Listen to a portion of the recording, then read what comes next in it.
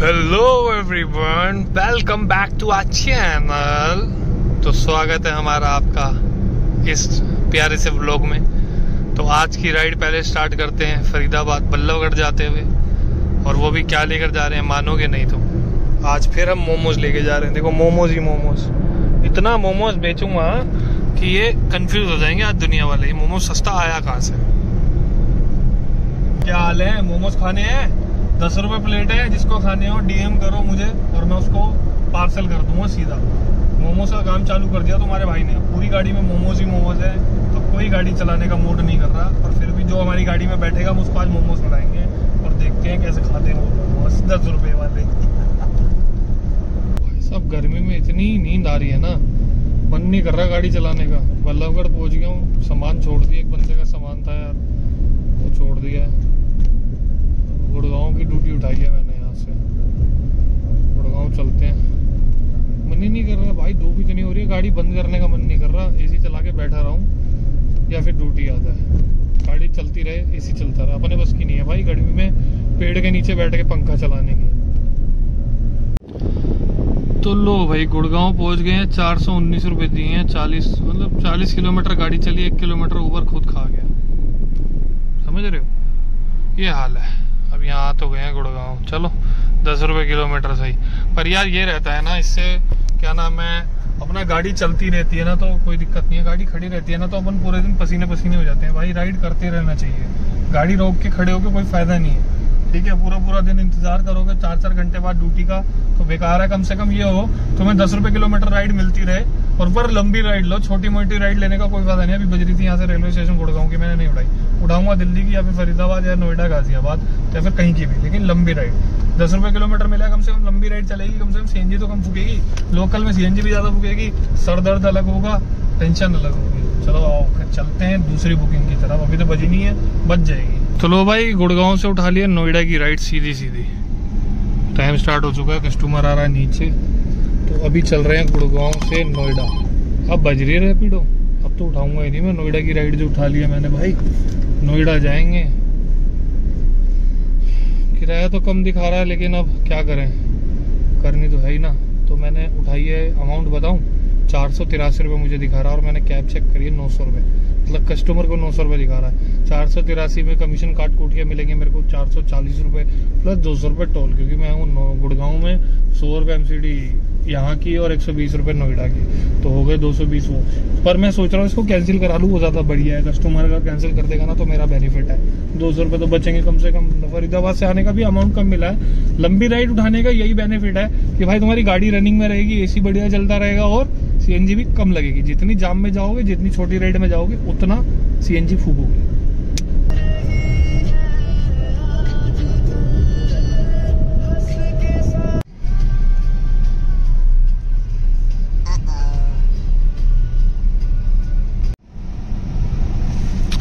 तो लो जी, पहुँच गए नोएडा।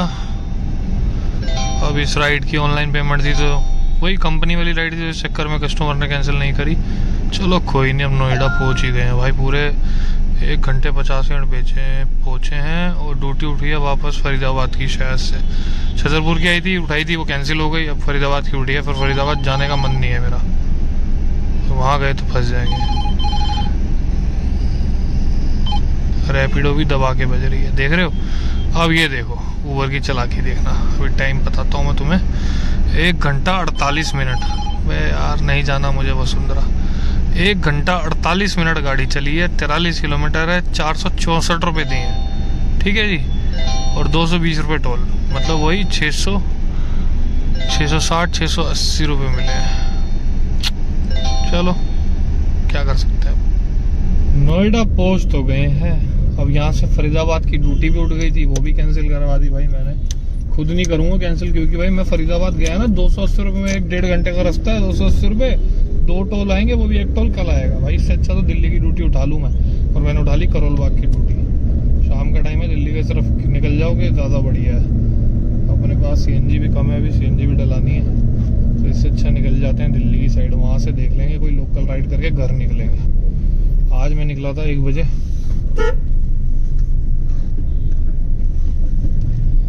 देखो सही है, लेकिन बस वही है देख कर काम करोगे ना भाई तो मज़ाक नहीं कर रहा चार पाँच ड्यूटी में ढाई हज़ार का काम होता है, ठीक है? अगर करना है वही चुन्नी चुन्नी चुन्नी वाला काम तो फिर भाई लगे रहो पूरे दिन, घोड़े कच्चर की तरह, गधा भी तो पूरे दिन मेहनत करता है।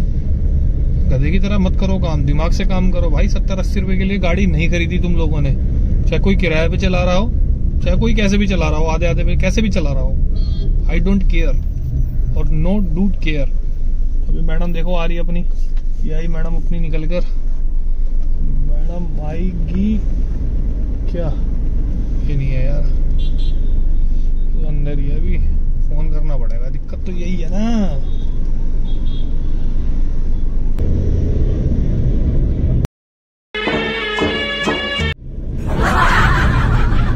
आप करोल बाग में पोस्ट हो गया हूँ। खैर टाइम से साढ़े सात ही बजे हैं। सात चौबीस हुआ।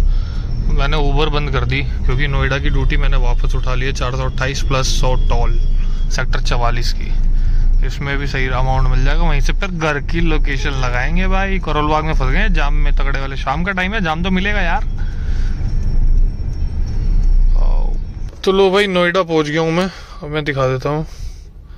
ठीक है, खुल जाए यार नेटवर्क भी नहीं आ रहा यहाँ। नोएडा पोस्ट हो गया मैंने ड्रॉप भी कर दिया है। देखो, तीन सौ छियासी रुपये मुझे मिले हैं, ठीक है? चार सौ अट्ठाईस की राइड थी, इकतालीस रुपये कमीशन कंपनी ने ली है प्लस मैंने एक सौ बीस रुपये नोएडा का टोल लिया जो कि हमें मिलता ही है, ठीक है? अब देखो, फिर दिल्ली की राइड बज गई है। चलो, दिल्ली की राइड है अशोक नगर की, उठा लेते हैं। सौ रुपये टोल इसमें भी मिल जाएगा, फिर वहाँ से वापस दिल्ली घुस जाएँगे, वो नोएडा घुस जाएँगे, फिर घर निकल जाएँगे। देखो, उठाता है, नहीं उठाता बंदा। तो इसमें ना बहुत सारे फ़ायदे भी हैं। नहीं उठाई किसी और ने उठाई होगी। चलो कोई बात नहीं। देखो जीके की ड्यूटी है क्या? ये देखो सोफ्ट फ्लाईओवर नोएडा निकल गई है भी तो इसमें ड्यूटी आती रहती है बढ़िया कोई दिक्कत नहीं है। तो लो जी आ गए हम निजामुद्दीन नोएडा से ड्यूटी लेकर।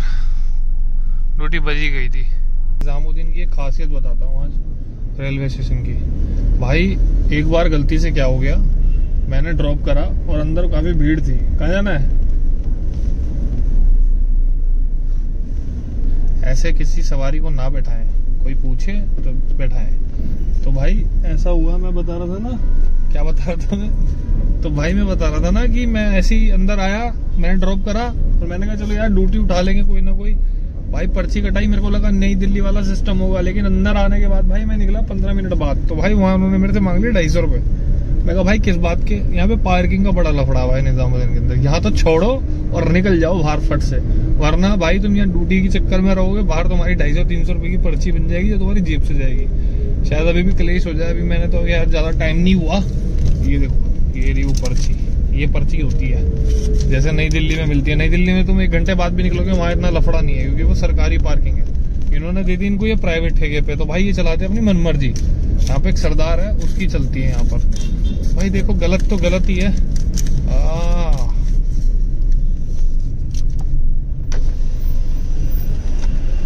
लो पेटीएम दो।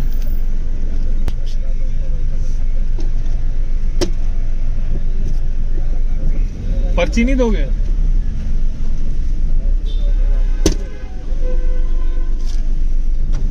पर्ची ज़रूर लेनी चाहिए, रिटर्न। भाई ये क्या करते हैं, कई बार तो बस, ये तो देखो नाम की पार्किंग है, पैसे तो खा ही रहे हैं बीच में। अब सीधा घर ही चल रहे हैं भाई। काम हो गया सत्ताईस सौ, अट्ठाईस सौ रुपए का। डोंट वरी यहाँ से निकलते हैं घर। घर की साइड की कोई बजेगी तो उठा लेंगे रैपिड और इन ड्राइव में। ऊबर में तो अपन ऑफलाइन हो लिया भाई। ऊबर में बजेगी उल्टी सीधी जो अपन नहीं उठाएँगे। देखो, काम है, करने वाला होना चाहिए भाई, और बाकी रही बात दूसरों के, कहने पे चलोगे। तो भाई दूसरों के कहने पे ही रह जाओगे, ठीक है? तो इससे अच्छा काम करा करो, गाड़ी चलाया करो। तुम्हारे सामने निकला तुम्हारा भाई, देख लो ब्लॉग कब स्टार्ट करा है, वही एक डेढ़ बजे स्टार्ट करा ब्लॉग और अब देख लो, मेरे ख्याल में नौ चालीस हो रहे हैं, ठीक है? मैं घर ही जाऊँगा ऑलमोस्ट ओके यार, एक वर्दी दिख गई मुझे, वर्दी लेनी तो लो भाई, जिस भाई को भी टैक्सी की वर्दी लेनी हो, भाई मेरे पास ना तीन शर्टें थी तीनों खराब हो गई, और मैंने ले ली वही शर्ट चिली चाइले मिल रही है, देखो भैया ने तीन सौ रुपये प्राइस रखा हुआ है, यहाँ हो तो भैया डिस्काउंट भी दे देंगे, मेरी वीडियो दिखा देना तुम्हें। बढ़िया डिस्काउंट दे देंगे। भैया, दे दोगे ना डिस्काउंट पैंट भी ले लेता हूँ, मेरे को पैंट भी खराब हो रही है। देखो पैंट वर्दी ले ली है। काफ़ी टाइम से वर्दी सोच रहा था, सिलवाऊँगा सिलवाऊँगा भाई। सिलवाने के मेरे ख्याल में सिलाई सिलाई लग जाती है पेंट शर्ट की हज़ार रुपए, ठीक है? ना ना करते करते। और मेरी साइज़ की जल्दी से कहीं मिलती नहीं। निजामुद्दीन टेलीविज़न के भाई मैंने वीडियो बना दी है। वीडियो बना दी है इसलिए क्योंकि भाई किसी भाई को भी साइज़ लेना हो, अपना छोटे, बड़े एम एल जो भी है, वो साइज़ आके ले। और सिली सिलाई शर्ट है, सिली सिलाई पेंट है और बहुत बढ़िया रेट पे मैं कह रहा हूँ, अब तेरा दिल खुश हो जाएगा। कम से कम अगर सिलवाने जाओगे, तीन सौ, चार सौ रुपए का कपड़ा आएगा, पाँच सौ रुपए का कपड़ा मान के चलो तो हज़ार रुपए सिले, पंद्रह सौ रुपए पड़ता है। भाई यहाँ मैंने, मानोगे नहीं, साढ़े पाँच सौ रुपए में पूरा सेट ले लिया पेंट शर्ट का और बढ़िया क्वालिटी ए वन क्वालिटी भाई, सही बता रहा हूँ मैं। लेना ज़रूर। तो अब चल रहे हैं घर, क्योंकि पेंट शर्ट भी खराब हो रखी थी भाई, एक ही शर्ट बची थी, ये वाली, वो भी ब्लू स्मार्ट की। तुम लोग कहते हो ब्लू स्मार्ट में गाड़ी चलाता है ब्लू स्मार्ट में गाड़ी चलाता तो ओलो ओवर क्यों चलाता है? भाई, ये शर्ट ना मेरे दोस्त को मिली थी इंटरव्यू देने गया था वो तो बस वो वहाँ गाड़ी चला रहा है, हम यहाँ चला रहे हैं, वर्दी हमारे पास आ गई। तो मैंने चलो, कोई बात नहीं यूज़ हो जाएगी। मिलते हैं भाई चलो सब्सक्राइब कर दिया करो यार चैनल को तुम्हारे भाई के।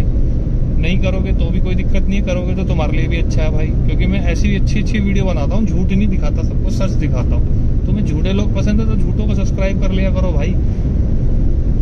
चलो मिलते हैं भाई नेक्स्ट ब्लॉग में। Bye bye tata good night